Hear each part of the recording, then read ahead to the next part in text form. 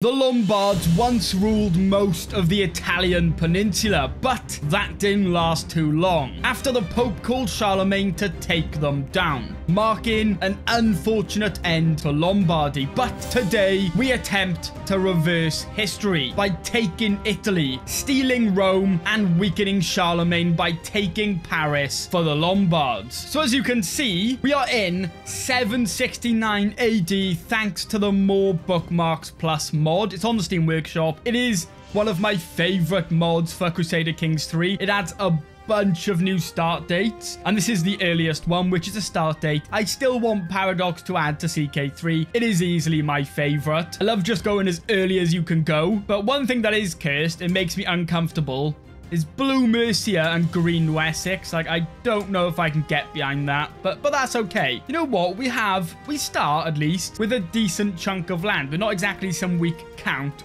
but not long after this, in real life, we would be taken down, thanks to the Pope calling Charlemagne. So we need to get powerful fast and stop that from happening. My plan, at least, is to take all this land down here. So we are going to have to fight the Roman Empire, which is terrifying. We're going to take all of the Pope's land, hopefully, and eventually take Paris. But first, a massive thank you to today's sponsor, Enlisted, a free-to-play World War II multiplayer shooter with a big focus on being historically accurate while keeping you in the middle of action, with large-scale battles full of infantry and vehicles like tanks and aircrafts, and with many campaigns such as the invasion of Normandy and Battle of Moscow, all with their own troops, vehicles, and weapons, making them all feel unique. And personally, I loved Squads mode. This allows everyone to control their own squad in battle and fight alongside them against others, and mowing down enemy squads with a flamethrower will never not be fun. Plus, it's available on PC, Xbox Series X and S, PlayStation 5, and the previous console generation, with cross-play support. So download for free today using the link in the description to get your exclusive bonus of three days premium and several orders for troops and weapons. Now, we may take Paris before Rome because, you know what, Saxony are right next to them and maybe we could get an alliance with them. I think that would be pretty interesting because they're fairly powerful.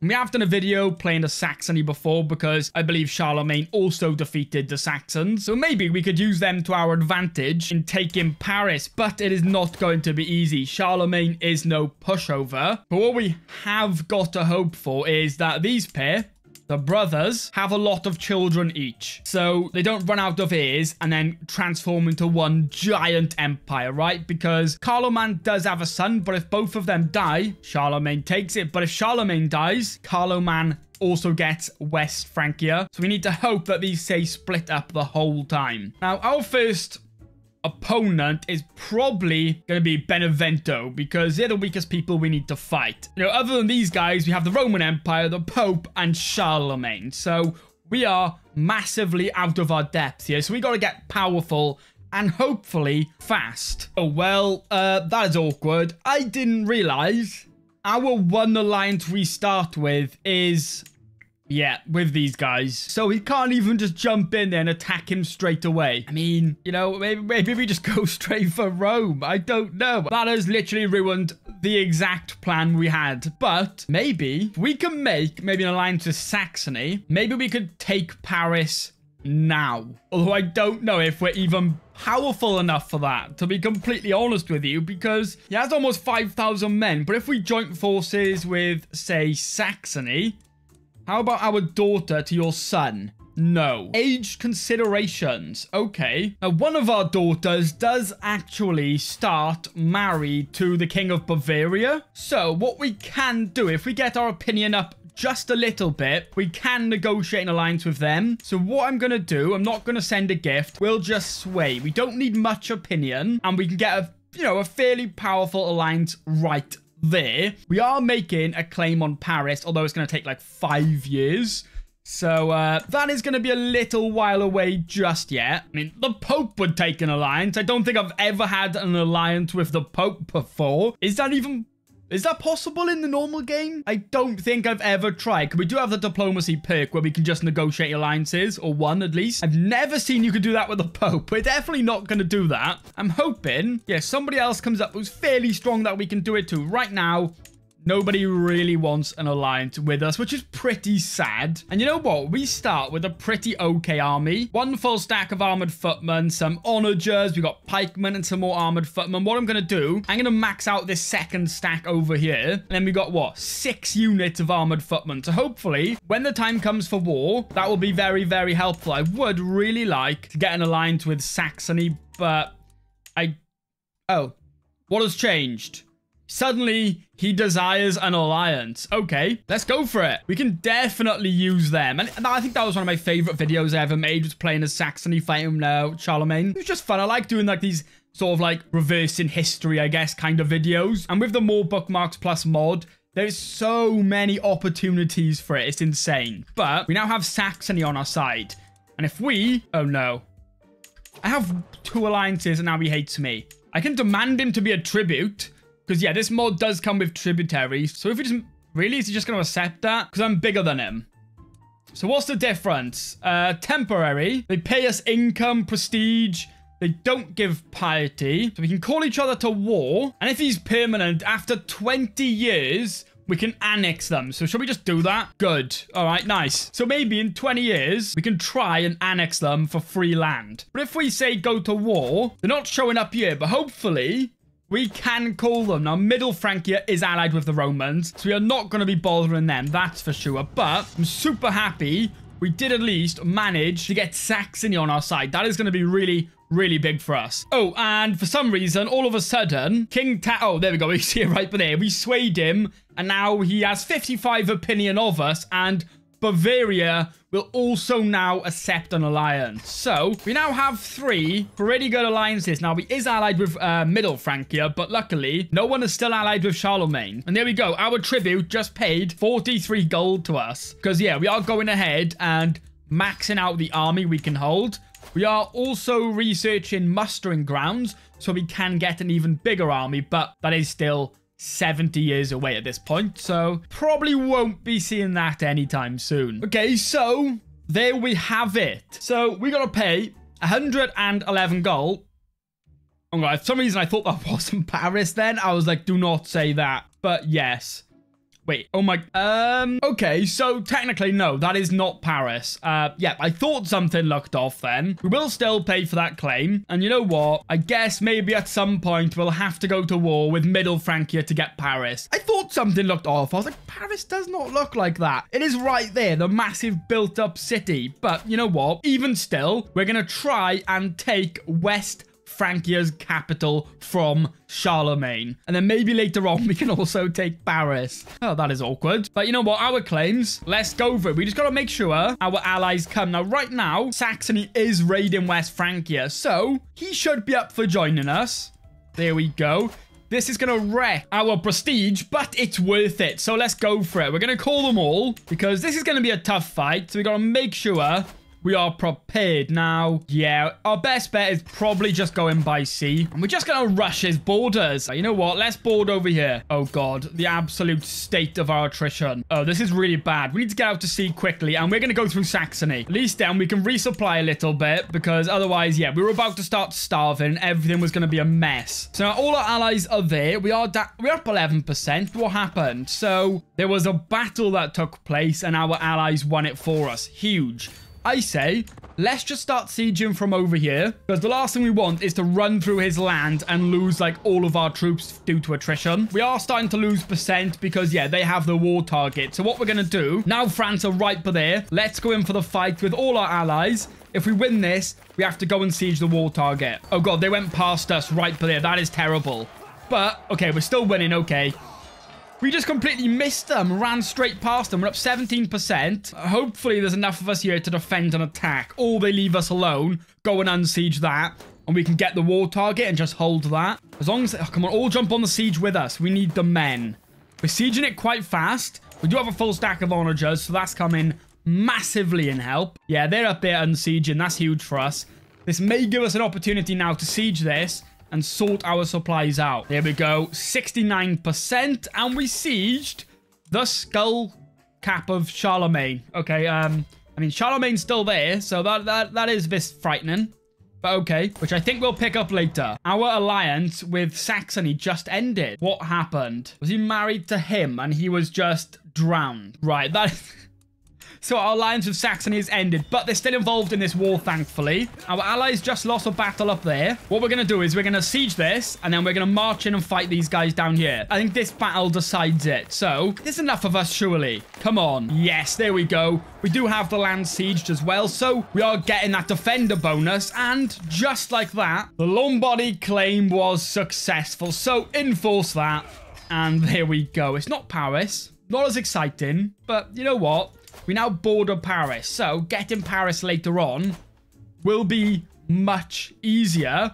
But we have massively weakened Charlemagne. And he is facing an independence war that is massive. And thanks to us massively weakening his army, he should lose that now. So West Francia is about to shatter thanks to us. So you know what? That is a nice bit of reverse in history. A little bit of revenge, but, but the Pope wants to do a board game against us.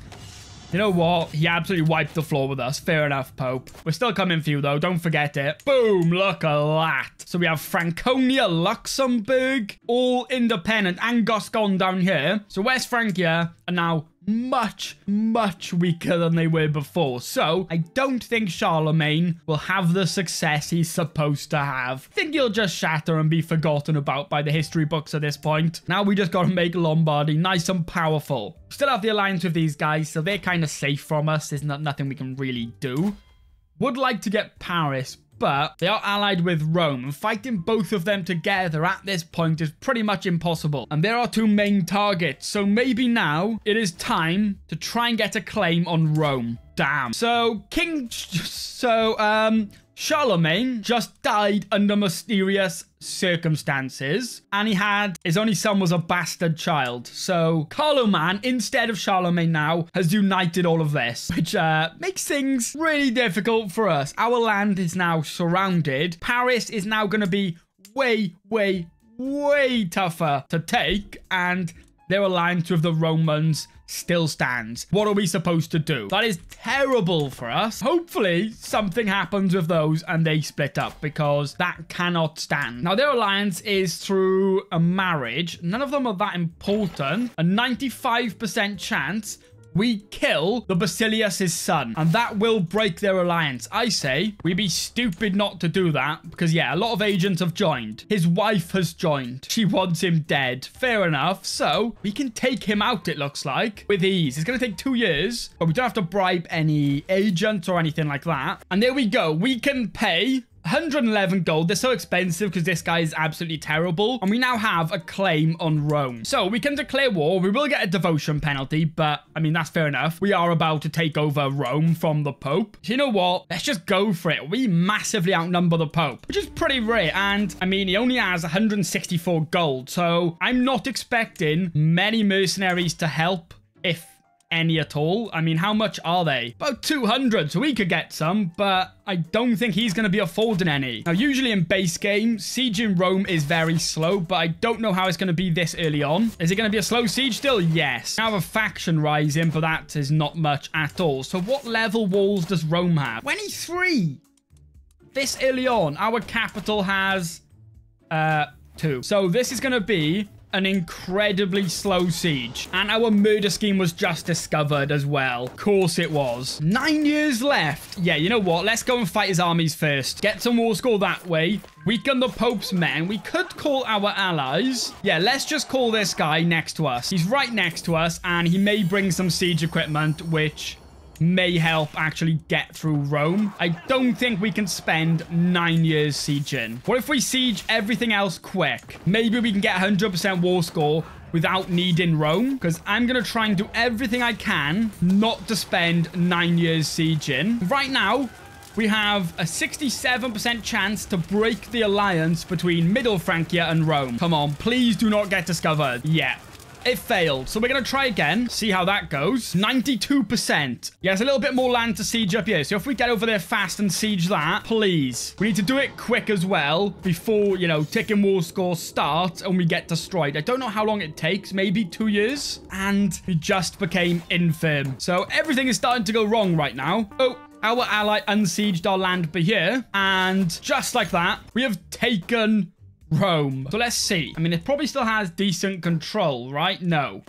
What we are going to do, I mean, it would be stupid not to make Rome our capital. So once we're out of war, we're going to make Rome our capital, fix the control, and I mean, that should start making us some some pretty good money. Right, 64% chance. Yep, fail again. So we're just going to keep obsessing over killing that guy. But with that peasant faction defeated, we can now make Rome our capital. We might take a little income hit for now. But once all these buildings are back up, we need to get under our domain limit. So I just give away some of our land up here. And now, there we go. So that is all making money once again. It's not making much because, yeah, the control there is terrible. But we are working on that. And hopefully over time, Rome should start making us some pretty good money. It's got the Colosseum, which is going to help with army gold maintenance. So that's going to save us, what, loads of money over time. Okay, so now we have to face a faction for somebody's claim on our kingdom. And if you look, um, yeah,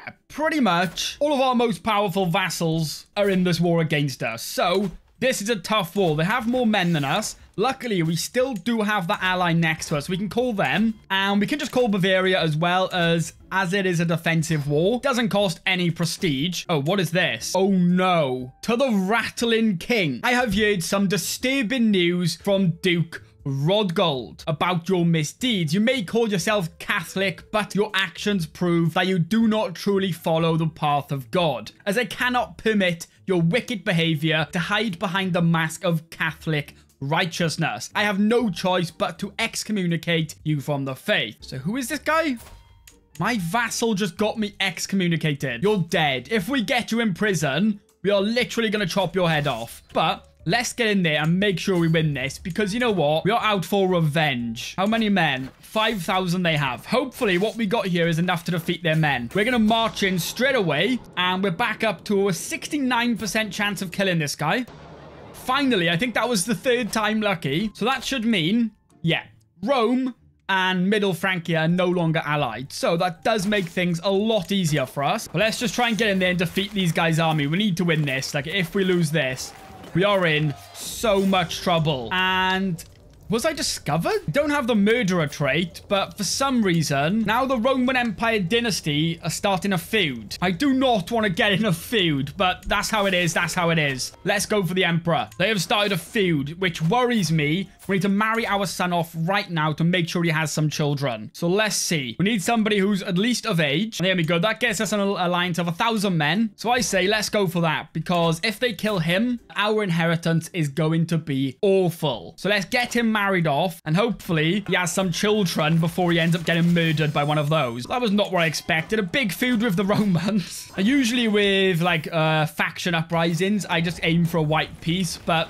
I am out for revenge. So, we are not going to get a white peace. Now what is going on? Due to your obvious lack of piety, a condition which worries the church greatly, you have gave this guy up here a claim on the kingdom of Lombardy. This is terrible. But enforce that. Where is this guy? You. I do not care. You are being executed. There we go. Well deserved, I think. Now, our other vassals, I'm actually going to leave them in prison, I think. Uh, you know what? Let's just ransom them off. Get the money off them all. I'm sure they'll raise up again and we can just do the same thing again and get even more money. But at least we got revenge for that unjust excommunication. Well, we did take Rome. Maybe not so unjust, right? But now these guys ain't ally. Oh my god. Middle Francia is up to 9,000 men. That is tough. They may have to be our last target then. So it looks like we are going to have to leave Paris until last. But let's just hope he doesn't declare war on me for this county. Because he could. And I don't think we'll win that. So let's just focus now on getting through the Pope's land. I mean, we still have a truce for two years. We have a vassal who has a claim on this land. And there we go. We can pick up a claim on the other county of the Pope's land. So hopefully we can do both of them before we die. I mean, I'm not sure if we will. We're infirm and 68. and uh, the Romans may be targeting me, so that may be a problem. And that was very good timing. like literally two seconds later, shredding this mortal coil. So, uh, yeah, that was definitely definitely them. What we're going to do, we're going to carry on and hopefully we can successfully murder some of these. It's not exactly what I want to be sinking my gold into, but we have definitely got to get some revenge. So so yeah, sadly, we did, of course, lose that claim on the Pope, but uh, our vassal does have a claim, but that may be a terrible idea. Let's see if one of our vassals has a big claim on this guy. No, it doesn't seem like they do. Only 41 away from accepting vassalage. So, I mean, hmm, that could be something we go for. Like, if we picked up... Force vassalage would be nice. We could just force it. But there's, of course, True Ruler which gives us a plus 20. Yeah, you know what? Let's try and vassalize this guy. I mean, plus 20, we still need 20 more, so we can try and get our opinion up. Start swaying him in that. So that is a very big possibility, and that will save us a big war. Our murder was exposed, so that is pretty pointless. Oh god, we need to get some payback. What if we try and murder his heir. We don't have a high chance for any of these. It feels like we're just going to lose this feud. you know, sometimes you've got to lose the feuds, but hopefully they don't kill me. Oh, so we can actually end the feud right here. For 150 prestige, we do lose it, but I think that is the best. We are not going to beat them in this feud. So I think just ending the feud is better, other than us just dying, right? So we're going to stop this murder scheme and just be done with that. Okay, so we swayed him once more. His opinion is now plus 100. We swayed him three times for 74 opinion, so we don't actually even need True Ruler, and he will accept low feudal obligations. So, look at that. So nice when you just actually have a chance to just vassalize somebody. So, that is nice and easy. He likes me a little bit less now, but you know what? He loves us. He's not going to be starting any problems, so we can kind of forget about him. Now, we could go for the Pope. That will just make us a sinner, but I'm not too bothered about being a sinner. So we are pushing our vassal's claim for this county up here. So we'll raise our men, and we're going to go straight for the war target this time. Hopefully, we siege this faster than they unsiege that. No, they're going to beat us. That's so unlucky. But yeah, we should beat them in this siege. So then this war is over because we have sieged all of their land. So that leaves the Pope now with just a single county title remaining. And we've almost already got a claim on that one as well. So I don't think he's going to be around for too much longer. Ooh, and Carloman has gone ahead and created the Empire of Francia. So, I mean, we could swear fealty, but I don't think we're going to do that. We are coming for Paris at some point. I think, yeah, he's going to be a tougher fight than the Roman Empire, which I was not expecting at all. Ooh, okay, so Carloman died in his sleep. And now if we look, Francia is down to 4,200 men and his allies are his vassals. So they are not going to be helping him. I think now is the perfect time to try and pick up that claim on Paris and successfully, hopefully, take Paris. That's going to take us two years. But of course, that is going to leave the Romans till last. But, I mean, it would be stupid not to try and take Paris now while they're this much weaker. Their power is going to go up. We are at 5,600 men. We've had three daughters. So we could look for some nice alliances around Europe. Denmark, that would be really big for us. Let's see. We have other daughters as well. What if we marry another one? And if we can try and get another alliance with Saxony. So that's two now nice powerful vassals pretty close to West Francia who can hopefully help us. Ooh, this time it only... Oh, he died. That's why. This guy has 17 learning. So it's gone down from 111 gold to just 69. So we are going to pick that up. Our truce with the Pope still is still going on. So let's start this now. He's also facing a claim for Middle Francia. So I say let's jump in there now while he's weak. Oh, no. Oh, um, let's try again. Hopefully, this may be a bad idea. Oh, God, no. This is an awful start to the war. Our men just got destroyed while they were raising. We got a few more raising up here, though. Kind of need these guys to come back. It's saying we're going to win, so we're going to wait for hopefully Saxony to get a little bit closer and go in and fight them. These guys are literally traveling the entire length of Europe. I don't know why they are going so far, but let's jump in there. Saxony should follow us. But no, this guy just ran away. There we go. And now let's go jump on Paris. We do have our other men on their way as well. We're taking some attrition. But for now, we're just going to take it. We can always get these men back. We have loads of gold. So I am not super worried about that. Now, this siege is painfully slow.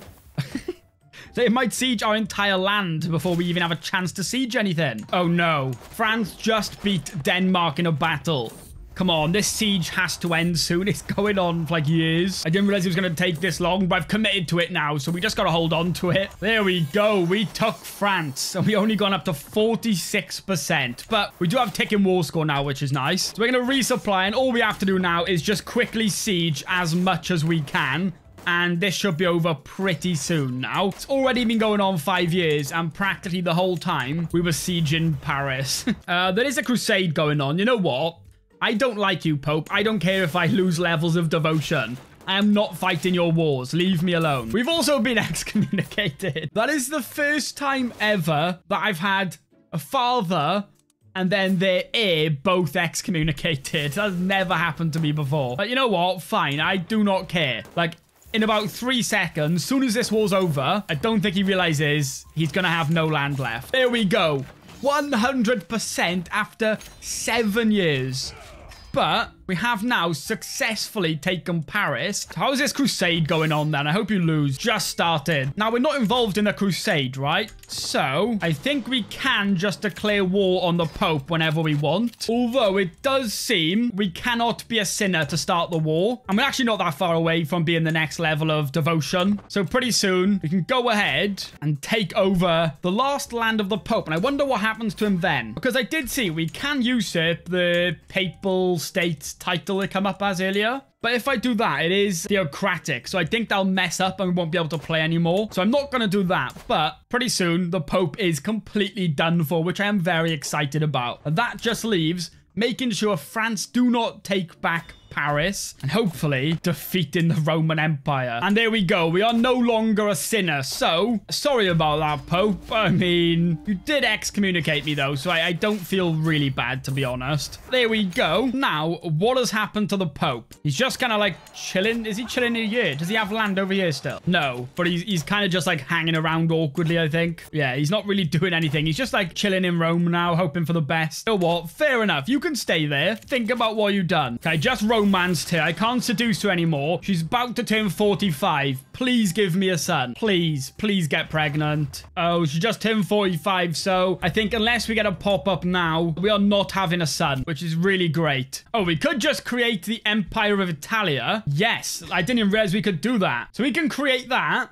And then on inheritance, as we are now a mighty emperor, we shouldn't actually lose like direct land. Our other daughters should just become our vassals. Although I am going to want to definitely disinherit some if I can because I do not want to deal with losing loads of land. Oh, there we go. We can just disinherit all the other ones as well, and we're still an emperor, so you know what? I'll take that. And as we are now an emperor, we can get one more stack of soldiers, and I think, you know what? Let's just have a crazy army full of armored footmen, because we are still, yeah, 15 years away from mustering grounds. We are now in a learning focus, so I can pick up scientific, which will help a little bit. Okay, so it just come up then.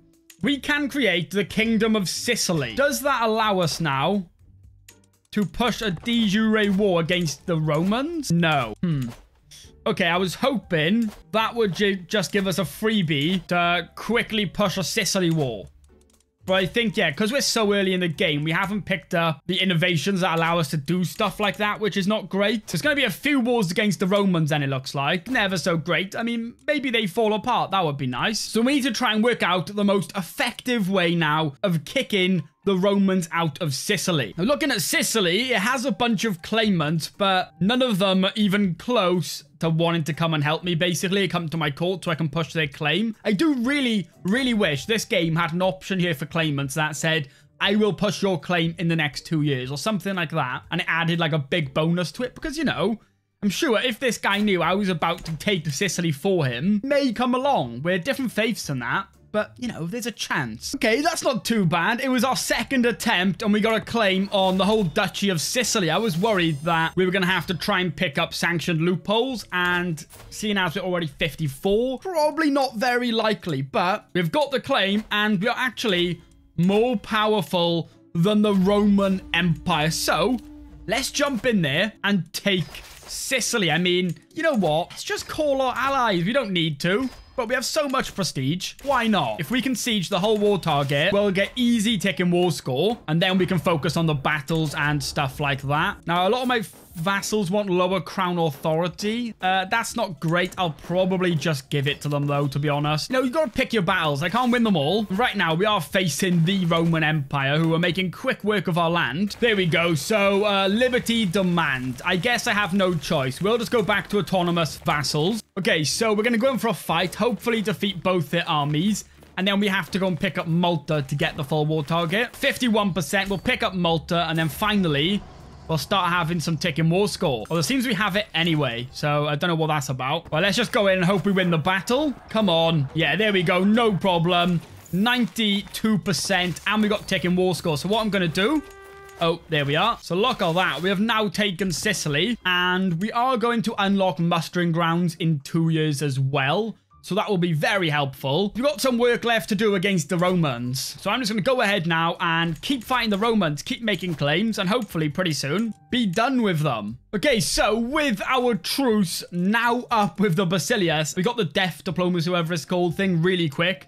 We like just finished our other war against him, as you can see. He still hasn't had time to recover, but he has this one county left to complete what we need to do. And we are so going to jump into it. And once again, um, there's a crusade, which I'm going to refuse. And maybe we can get three rulers in a row excommunicate. Because, yeah, sadly, this guy did die. So we have just been constantly at war with the Roman Empire. But this time, this is going to be our last offensive war against them. And yeah, we did unlock mustering grounds. So our army is even bigger than it was before. So yeah, we're just going to raise all and just jump on the wall target and siege it as fast as possible.